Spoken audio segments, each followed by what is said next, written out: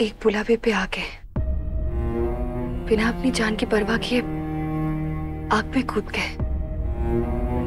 पता नहीं अगर तुम वहाँ नहीं आते तो क्या होता। तुमको बहुत बहुत बहुत थैंक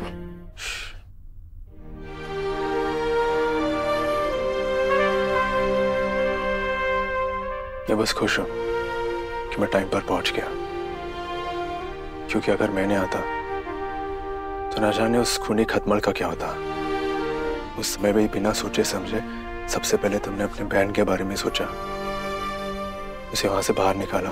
हम वैसे ही है जैसे काकी माँ हमका बना गई तूने हमारी मदद की तो अपनी भी कर लेगी पुप्पी का कोनो की ज़रूरत नहीं है और उधर पुप्पी तो कती नहीं आपको हम बच्चे के साथ मंजूर नहीं थे ना?